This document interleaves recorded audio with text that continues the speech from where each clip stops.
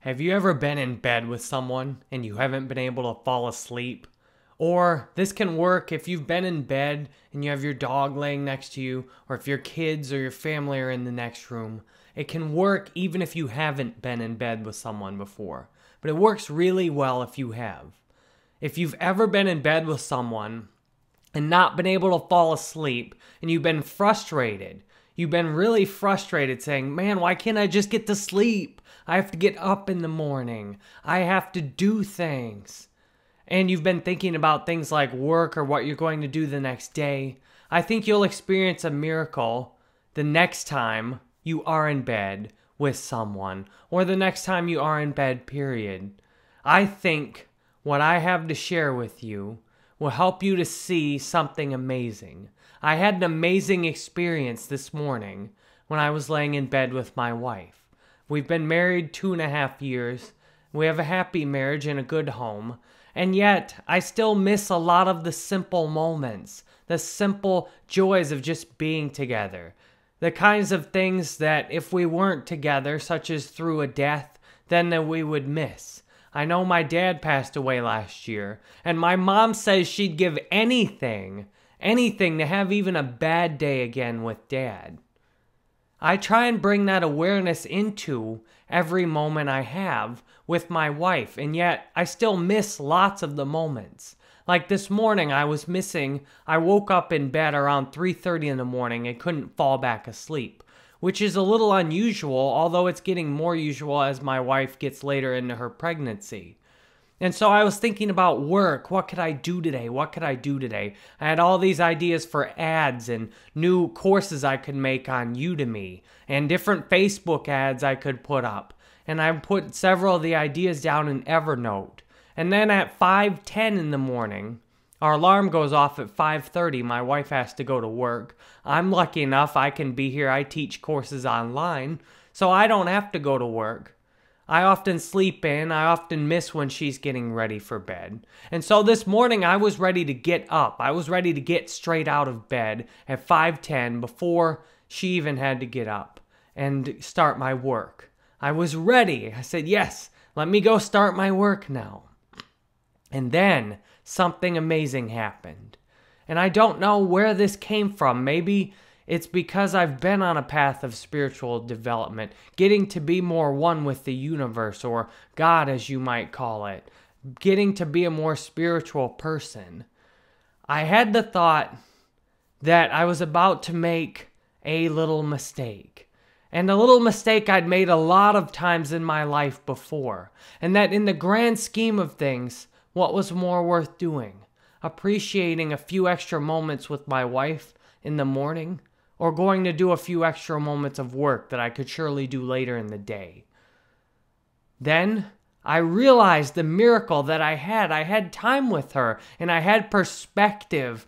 Finally, I had perspective. I could see that I wasn't just laying in bed with my wife.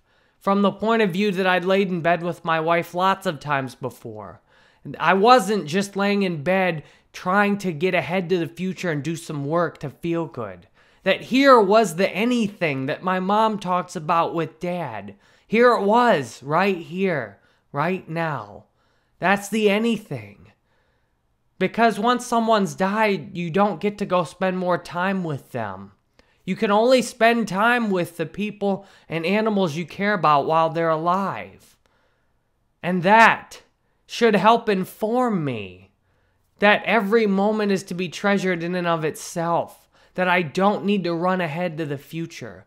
So I got this complete happiness and joy just to be in bed with my wife. And so I'll take you through the mental process that allowed me to see that. So I was at a place to start with where I wanted to get up and go do more work. I wanted to go do something that'd make me feel more fulfilled than just feeling like I was wasting time laying in bed.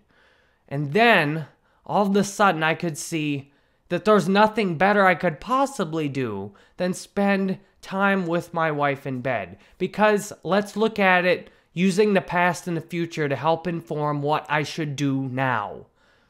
In the future, I will definitely, this body will fade and die at some point. And my wife's will too. And from that point of view, where either hers is faded and died, or my body's faded and died, or both, from that point of view, what would I have wanted to do at that moment when I was in bed? Would I have wanted to jump out of bed and go do more work? Certainly not. I would have wanted to have stayed in bed and to hold sacred that moment of just laying in bed, a normal, peaceful, beautiful moment with my wife, just laying in bed as she was trying to sleep. That's what I would want to do from that point of view, the point of view where I'd be in the hospital bed, looking back and saying what I'd wished I'd done in my life. That's what I'd want to do now. And that's easy to see because I can see it in my mom. Dad is gone. That is mom's reality. And mom can't go back and lay in bed with dad. Mom can't go back get those thousands of nights her and dad missed out on that precious time where they were angry at each other or they were aggravated. They can't go back and get that time. I can use that time because I am here now. Mom and dad had 30 years of marriage together. And I can use what mom has learned after just two and a half years of marriage myself to remember that anything that mom would give. So I look at that. That helped me to see, oh, this is the anything right here. You've got it. There's nothing that can possibly happen in the future that's going to be better than what you already have right this moment. So treasure it. And at the same time, I can go back to the past because the same thing's there in the past. When I was 15 years old and I had a crush on a girl, I knew I prayed I would give anything just to spend the night with her in bed. I wanted that so bad at 15 and even back to first, second, third grade, I can remember just wanting to be in bed with my wife laying in bed all by myself as a little seven, eight year old kid, wishing, wondering where my wife was. What was she doing? What was she going through? Where was she? And why couldn't I be laying in bed with her? So, from that kid's point of view, or that teenager's point of view, of that, God, just give anything. I want a girlfriend. I want to be in bed with a girl. What about that? How about that anything? There, I've got it. Now I'm in bed with my wife now. I've got that anything that I wanted for so many years as a kid. I've got that. And yet, how many times in our life do we miss? We want, we would give anything for something, and then we get it and we forget about it.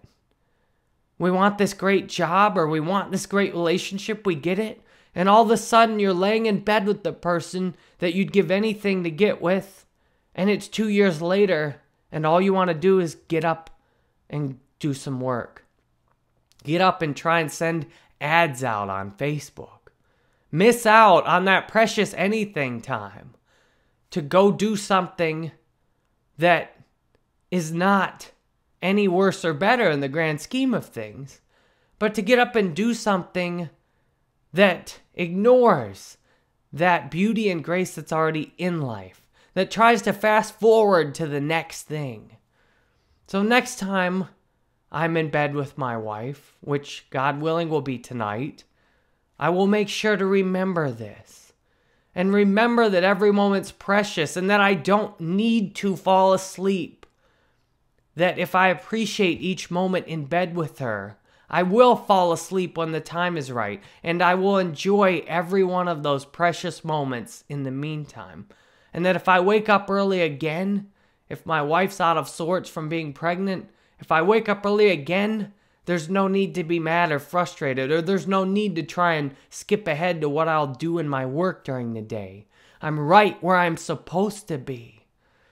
And this brought a miracle for me this morning to wake up with immense Gratitude, immense gratitude to be right where I am right now.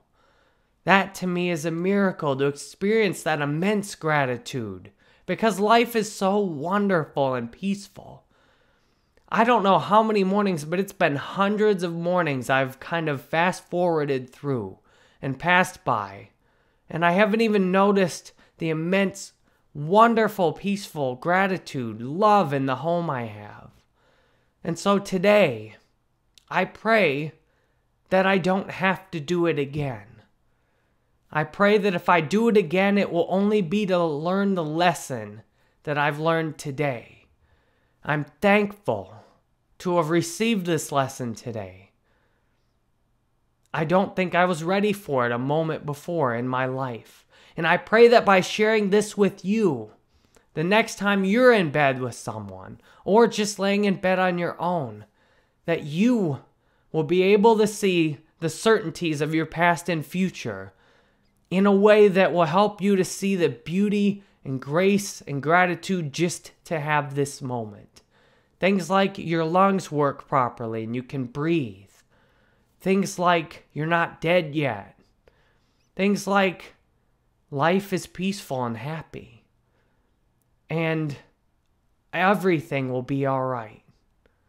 So thank you very much for spending this time with me. I'm honored you're here, whether it's on YouTube, Facebook, or on my podcast on iTunes or on Udemy. I'm grateful however you're here with me.